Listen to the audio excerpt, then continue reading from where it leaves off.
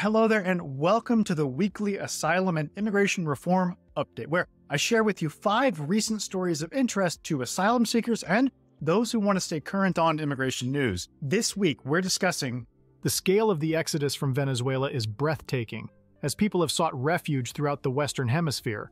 Texas is taking a cue from Florida and playing politics by shipping asylum seekers to Democratic strongholds elsewhere. Asylum seekers at the southern U.S. border can no longer apply for appointments at one of the designated locations. A poll shows that more Americans than you might have thought actually do support the right of people to seek asylum at the southern border, and a proposal is on the table in U.S. Congress to support Uyghurs fleeing China. I'm Brian Manning, and I used to be an asylum officer with the government, but now, as an asylum lawyer, I help immigrants all over the country to secure their future in America through asylum. It's my pleasure to bring you asylum and immigration reform updates each week, right here on the Political Asylum Lawyers YouTube channel. Okay, let's get to the news. First up, the scale of Venezuelans seeking refuge from the dictatorial rule of President Nicolas Maduro is astounding. In 2022, there was a remarkable 186% increase in Venezuelan asylum applications, reaching 264,000. This contributed to the largest refugee exodus ever observed in the Americas, as reported by the United Nations Refugee Agency. Latin America and the Caribbean accounted for over 40% of global asylum seekers, with 5.45 million Venezuelans requiring international protection. Additionally, significant numbers of asylum seekers originated from Cuba,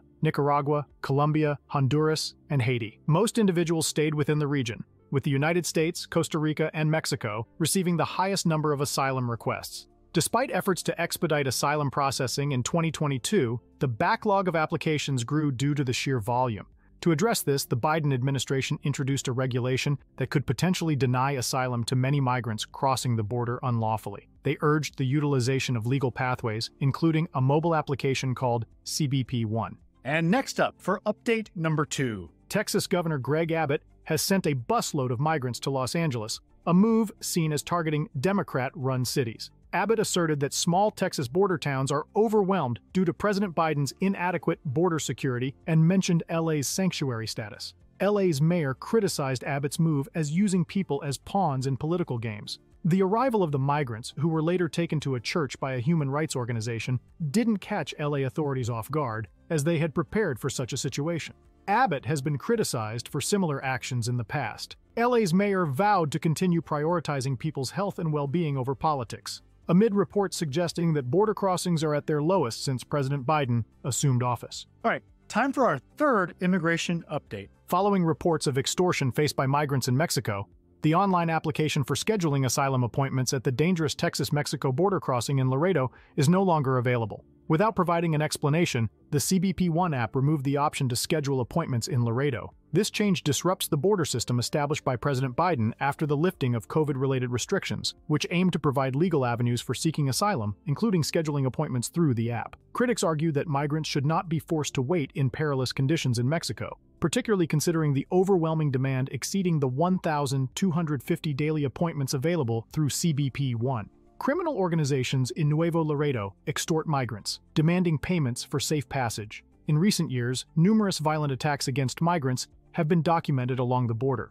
And moving right along, update number four. A recent poll indicates that a majority of likely U.S. voters support access to asylum at the U.S. southern border. The poll was conducted one week after the lifting of the pandemic era restriction known as Title 42 and revealed strong support, particularly among Democrats, young Americans, and black Americans.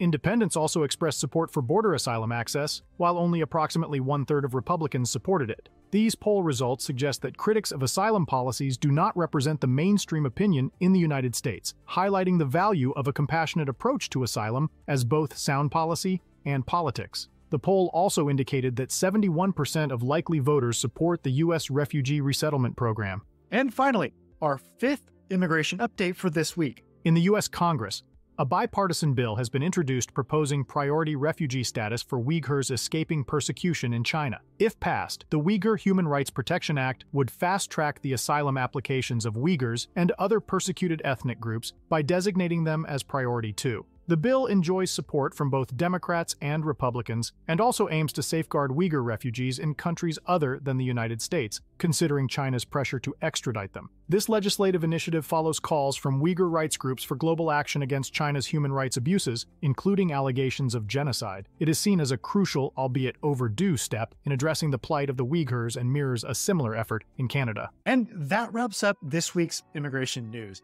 If you want to win asylum in the United States, then you should call my office today. That number is 713 352 1593. We help people all over the country, so doesn't matter where you are. Call us now to schedule an asylum strategy session so that we can help you secure your future in America through asylum. Again, I'm Brian Manning, and it's an honor to serve you in your immigration journey.